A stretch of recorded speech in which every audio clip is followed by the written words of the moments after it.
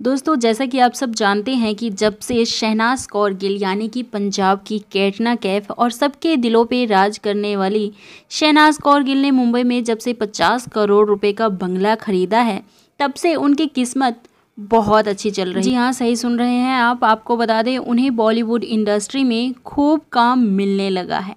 उन्हें बॉलीवुड इंडस्ट्री से भी दो से तीन फ़िल्में मिली हैं। इतना ही नहीं, जब से उन्होंने आलीशान बंगला खरीदा है दोस्तों, उनकी ब्रांड वैल्यू भी काफ़ी बढ़ गई है। जी हाँ बहुत बड़े बड़े एड वीडियोस भी मिलने लगे हैं उन्हें। और इसका रीज़न है आलीशान बंगला। जी हाँ आपको बता दें, अब तो लोग ये कहने लगे हैं कि ये आलीशान बंगला शहनाज के लिए काफ़ी लक्की साबित हुआ है। और शहनाज गिल इस बंगले को कभी नहीं बेचेंगी। जी हाँ दोस्तों, लेकिन वही शहनाज गिल का तो कुछ और ही कहना है। जी हाँ शहनाज कहती हैं कि अगर उन्हें सौ करोड़ रुपए इस बंगले की कीमत मिलेगी तो वो इसे बेच देंगी। तो इसे कहते हैं ना दोस्तों, पक्के बिजनेसमैन। अगर इन्हें कहीं से मुनाफा मिलता है तो वो अपने फेवरेट और लक्की आलिशान बंगले को भी बेचने को तैयार हैं। लेकिन कीमत ज़्यादा मिलनी चाहिए। जी हाँ। वेल वहीं शहनाज की इन बातों की बात करें तो शहनाज की ये बात सुनने के बाद तो उनके बहुत सारे फैंस भी इस आलिशान बंगले को खरीदने को भी तैयार हो जाएँगे। लेकिन सौ करोड़ की कीमत होने की वजह से कम ही लोग, कम ही फैंस इसको खरीदने की स्थिति में होंगे। कम से कम दोस्तों, मैं तो ऐसी स्थिति में नहीं हूँ। और मैं तो यही चाहूँगी दोस्तों कि शहनाज गिल भी इस बंगले को कभी ना बेचे।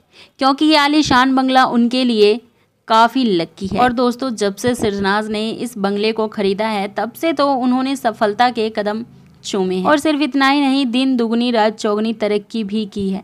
तो ऐसे लक्की बंगले को बेचने की क्या ज़रूरत है दोस्तों? कम से कम मैं तो दोस्तों सिरनाज की जोड़ी को ये बंगला बेचने की सलाह कभी नहीं दूँगी। क्योंकि मैंने बॉलीवुड इंडस्ट्री में ऐसे बड़े बड़े सुपरस्टार देखे हैं दोस्तों जो अपने बंगलों के बेचने के बाद ढलान की तरफ़ चल पड़े। जबकि पहले वो सुपरस्टार थे।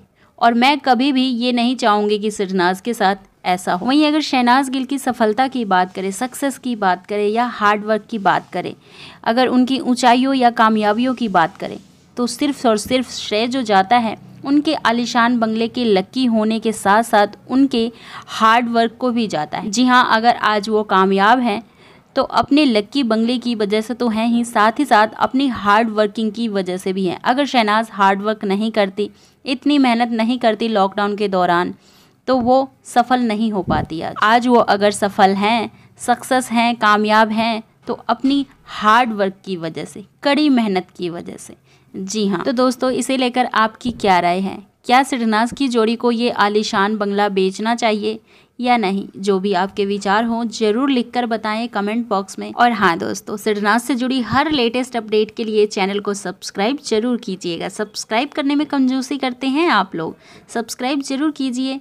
भूल जाते हैं आप सब्सक्राइब करना। नीचे रेड बटन पे क्लिक करके सब्सक्राइब ज़रूर कीजिएगा। बिल्कुल फ्री है साथ वाला बेल नोटिफिकेशन ऑल पे ज़रूर प्रेस कीजिएगा। और ऐसे ही अपना प्यार हमेशा की तरह मुझे भेजते रहें। तो दोस्तों, मिलते हैं मेरे नेक्स्ट वीडियो में।